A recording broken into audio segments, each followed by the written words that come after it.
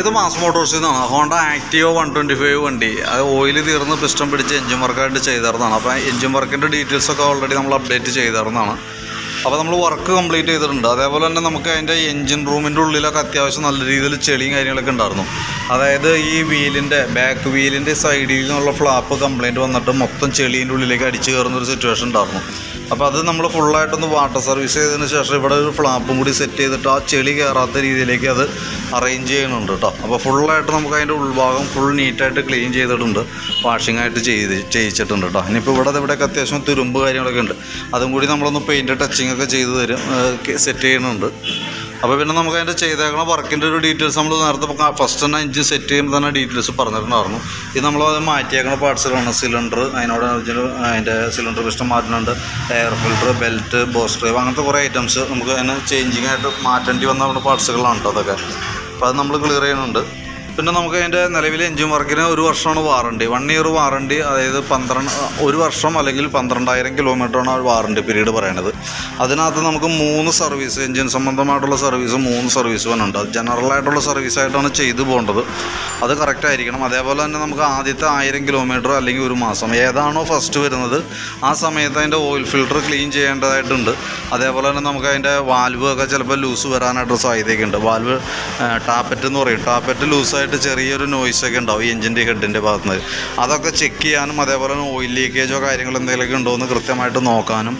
അങ്ങനെ ഉണ്ടെങ്കിൽ അത് പരിഹരിക്കാനൊക്കെ വേണ്ടിയിട്ടാണ് നമ്മൾ ഒരു മാസത്തിനുള്ളിൽ വണ്ടി വീണ്ടും ഒന്ന് ചെക്കപ്പിനായിട്ട് കൊണ്ടുവരണമെന്ന് പറയുന്നത് അതിനുശേഷം ഓരോ നാല് മാസം കൂടുമ്പോഴാണ് നമുക്ക് അതിന്റെ സർവീസ് വരാം. അത് കൃത്യമായിട്ട് ചെയ്യണം. ഓരോ മൂവായിരം കിലോമീറ്ററിലാണ് ഓയിൽ ചേഞ്ച് വരാം. അത് കറക്റ്റ് ആണെങ്കിൽ മാത്രമാണ് നമുക്കൊരു വാറണ്ടി സംബന്ധമായിട്ട് എന്തെങ്കിലും ഒരു കംപ്ലയിന്റ് വന്നാൽ ക്ലെയിം ചെയ്യാനായിട്ട് സാധിക്കുള്ളൂ. അത് പ്രത്യേകം ശ്രദ്ധിച്ചോണം.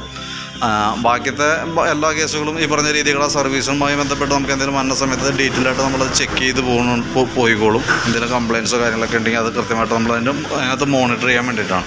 അപ്പോൾ സർവീസ് കൃത്യമാണെങ്കിൽ മാത്രമാണ് നമുക്ക് അതിന്റെ വാറണ്ടിയുമായി ബന്ധപ്പെട്ടുള്ള വാറണ്ടി കിട്ടുള്ളൂ കേട്ടോ. പിന്നെ നമുക്ക് ഈ ചെയ്തേക്കുന്ന വർക്കുകളുടെ ജസ്റ്റ് ഡീറ്റെയിൽ നമ്മളിപ്പോൾ ഈ ഭാഗം നമുക്ക് സിലിണ്ടർ എഞ്ചിൻ ഹെഡിന്റെ ഭാഗം അത്രയും ഭാഗം അയച്ചിട്ട് ക്ലച്ചിനകത്ത് നമ്മൾ ബെൽറ്റ് കാര്യങ്ങളൊക്കെ മാറ്റിയിട്ട് റീസെറ്റ് ചെയ്തിട്ടുണ്ട്.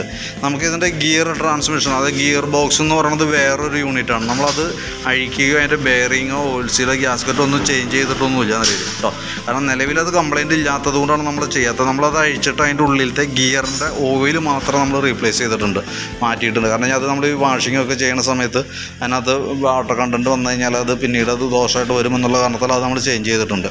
പിന്നെ അതേപോലെ തന്നെ നമുക്ക് ഈ ലെഫ്റ്റ് സൈഡിലുള്ള ബ്രേക്ക് അപ്ലൈ ചെയ്യുന്ന സമയത്ത് നമുക്ക് വണ്ടി സ്റ്റാർട്ടിങ് ആവുന്നുണ്ടായില്ല. റൈറ്റ് സൈഡിൽ ബ്രേക്ക് പിടിച്ചാൽ മാത്രമാണ് വർക്കിംഗ് ആവുള്ളൂ. അത് ആ സ്വിച്ചിന്റെ ആയിരുന്നു അത് ക്ലിയർ ചെയ്തിട്ടുണ്ട്.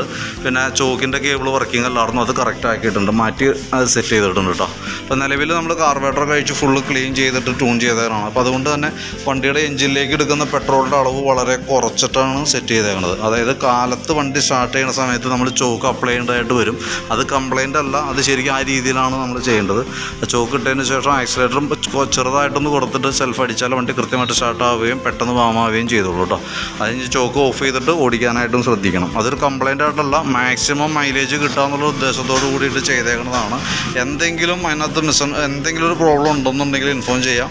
നമുക്ക് ആദ്യത്തെ ആയിരം കിലോമീറ്ററിനുള്ളിൽ വന്ന സമയത്ത് എന്തെങ്കിലും നിങ്ങൾക്ക് ഒരു കംഫർട്ട് അല്ലാത്തൊരു കണ്ടീഷൻ ഉണ്ടെങ്കിൽ നമ്മൾ ചെയ്തേക്കുന്ന വർക്കുമായി ബന്ധപ്പെട്ട് എന്തെങ്കിലും അങ്ങനെ ഒരു പ്രോബ്ലം ഉണ്ടെന്നുണ്ടെങ്കിൽ ഇൻഫോം ചെയ്യുകയാണെങ്കിൽ നമ്മളത് കൃത്യമായിട്ട് നോക്കിയിട്ട് പരിഹരിക്കുകയായിരിക്കും കേട്ടോ അപ്പോൾ അതിന്റെ ബില്ല് കാര്യങ്ങളൊക്കെ ആവണുള്ളൂ. കൃത്യമായിട്ട് അതിന്റെ ഡീറ്റെയിൽസ് വാട്സപ്പിലേക്ക് സെൻഡ് ചെയ്ത് തരാം. അതേപോലെ തന്നെ നെക്സ്റ്റ് സർവീസിന്റെ ടൈമും ഇവിടുന്ന് കൃത്യമായിട്ട് അത് എഴുതി തരാം. അത് കറക്റ്റായിട്ടൊന്ന് ഫോളോ ചെയ്യാനായിട്ട് ശ്രദ്ധിക്കണം കേട്ടോ.